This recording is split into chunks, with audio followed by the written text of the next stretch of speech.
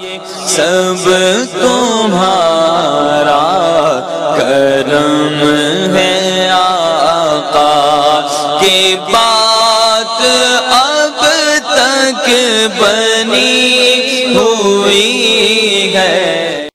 कराम अल्लाम वरहमतुल्लाहि वबरकातुहू। आज मैं आपके सामने बयान करूँगा कि अगर कोई शख्स ख्वाब के अंदर पखाना देखता है तो इसकी क्या तबीरात होंगी?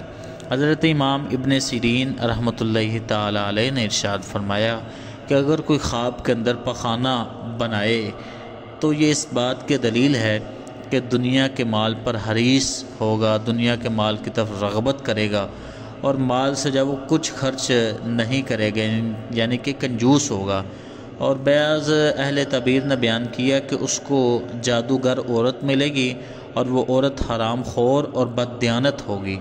और अगर पखाना में अपने आप को जा वो बोल और पखाना, यानी पेशाब और पखाना करता हुआ देखे तो इस बात की दलील है कि माल को जमा करेगा। और अगर देखे कि पखाने में या पखाने के गड़े में गिरा है कोई शख्स तो इस बात की दलील है कि माल जमा करने में गरक होगा। और अगर देखे कि वो ख़ुद पखाने के कुएँ में गिरा है तो इस बात का दलील है कि उसका माल जो वो छीना जाएगा। और अगर देखे कि गिरते ही हाथ और पाँव टूट गए हैं तो दलील है कि सख्त मुसीबत के अंदर गिरफ़्तार हो जाएगा। नाजरीन किराम, मैं उम्मीद करता हूँ कि आज की वीडियो आपको अच्छी लगी होगी।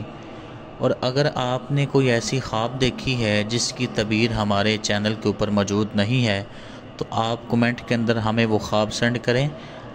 तो इन हम उसके ऊपर जो है वो एक वीडियो बनाएँगे।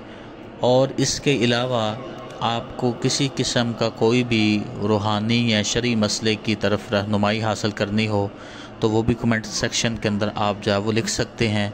अल्लाह आप सबका हामी नासिर हो। असलकम वरहमल वर्का